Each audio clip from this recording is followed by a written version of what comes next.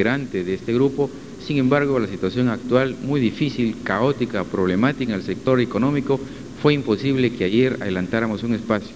Hoy tenemos la oportunidad de juntarlos. Si bien es cierto, no a todos, pero nos acompaña Meleque Suárez, está también Andrés Palacios. Andrés, tranquilo él, pero debe estar feliz con la noticia que le hemos dado.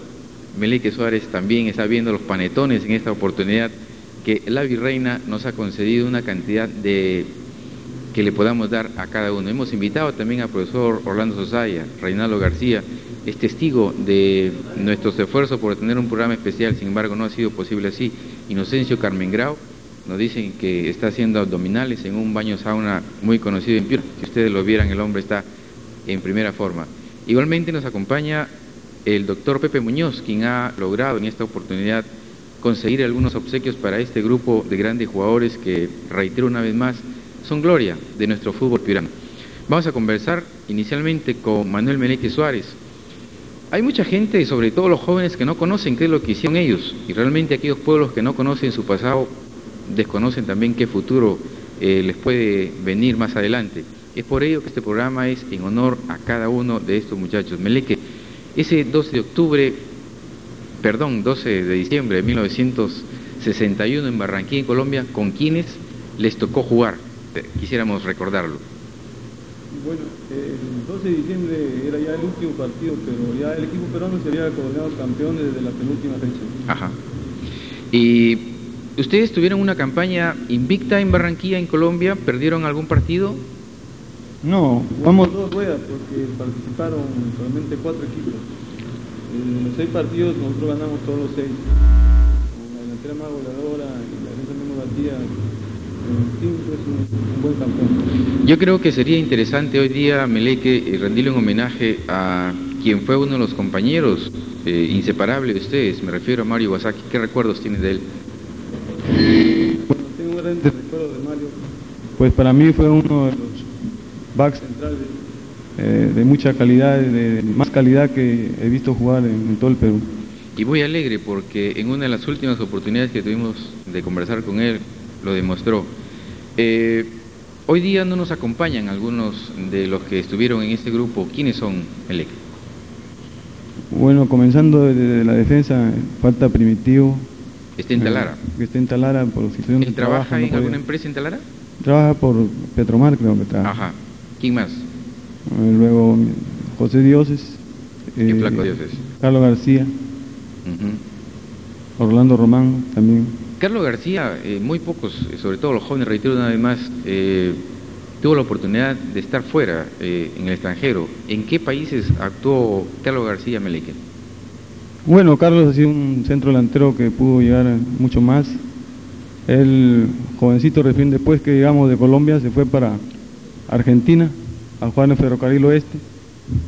Luego pasó al fútbol mexicano donde jugó varios, varios años más. Claro. Y al fin retornó a Piura.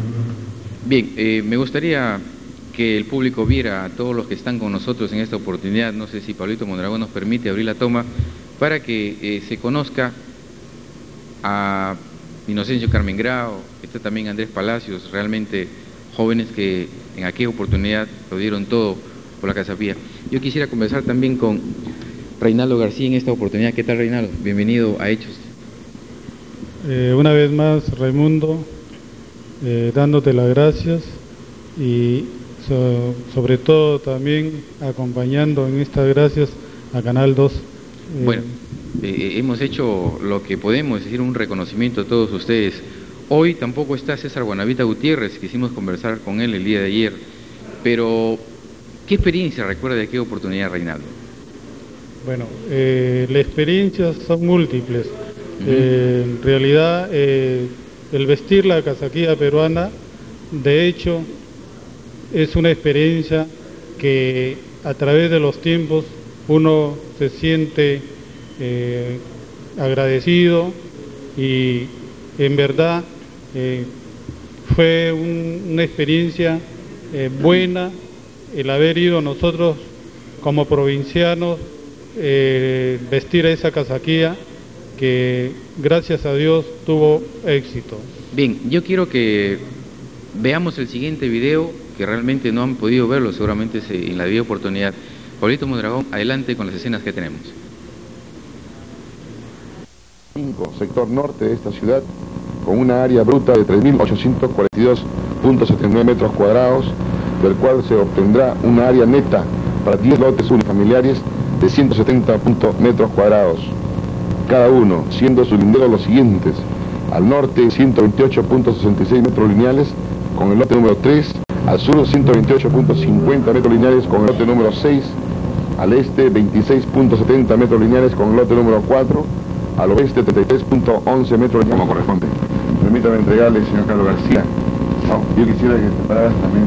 Todos ustedes, por favor, si me permitieran, agradecerles el gesto que Piura tiene como retribución hacia ustedes, por el gesto que han hecho a la patria y que realmente este, aunque tarde, tarde en función del tiempo, pero oportuno en función de la historia, decirles a ustedes que Piranos estamos muy agradecidos por su perseverancia y son. Ojalá que este gesto sea también para invitado, para realmente regocijar a todos los deportistas, a nuestros ex deportistas que hayan brillado por esencia propia en función de la patria, en función de nuestra tierra, Pirana, región Grau, y sobre todo enseñarle a la juventud, enseñarle a la niñez de que ustedes hicieron algo por nuestra patria y nuestra tierra que tanto queremos. Permítame entregarle a usted, señor Carlos García. Instantes que señor alcalde Pira, luego de muchísimos años amigo de América Televisión, hace entrega pues, este documento a Carlos García, plasmando un deseo largamente esperado.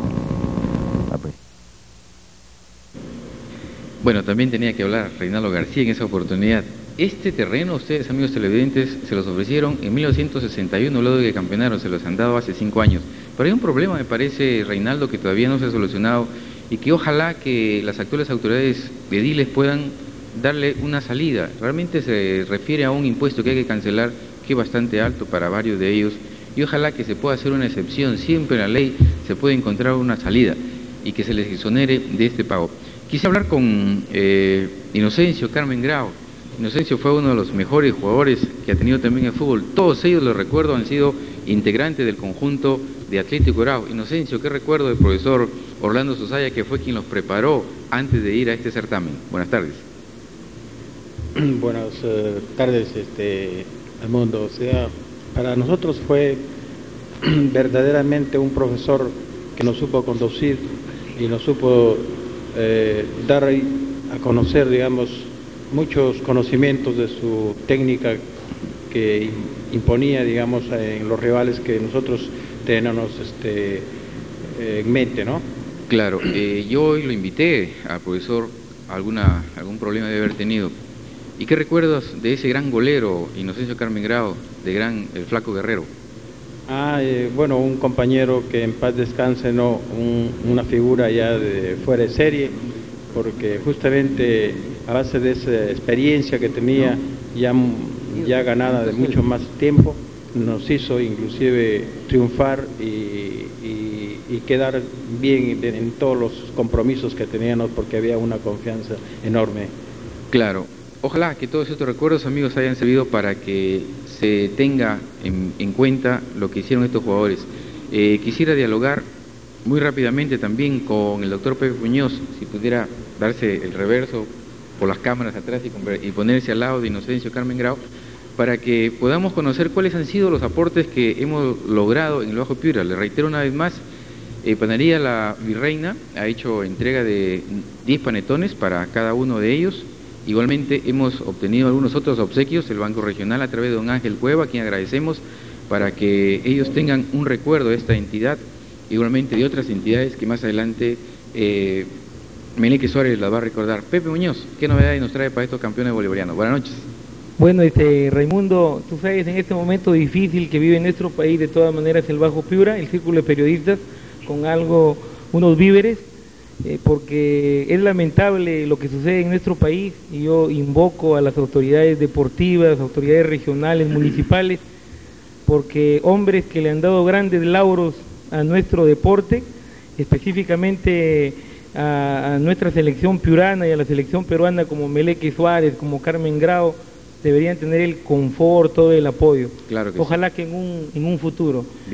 con un pequeño aporte nos hemos hecho presente con unos víveres acá, pero de todas maneras comprometo aquí al alcalde de la Unión, que por razones de que está muy ocupado por el aniversario, Lucho de la Cruz, efectivamente. ¿Y jugó en el grado?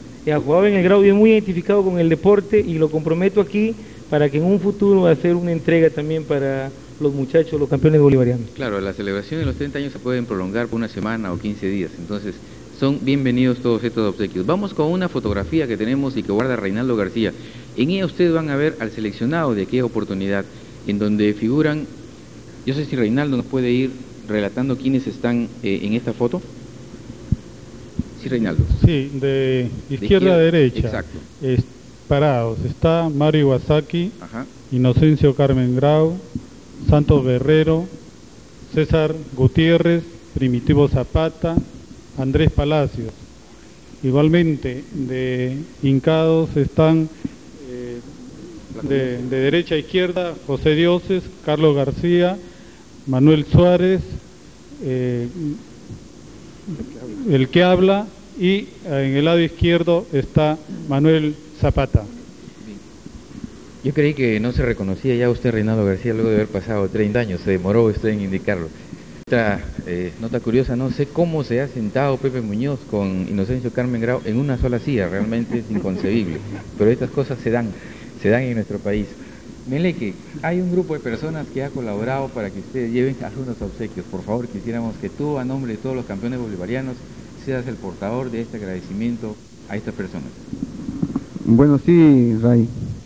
Eh, a nombre de los componentes de este equipo campeón bolivariano, tenemos que agradecer al señor Félix Bon, asimismo al grupo de alteños residentes en Piura, al señor Ricardo Guachén, al señor Manuel Frío Barona eh, de la panadería La Virreina, asimismo agradecemos también al Círculo de Periodistas Deportivos del Bajo Piura, y también al señor Ángel Cueva Quesada del Banco Regional del Norte.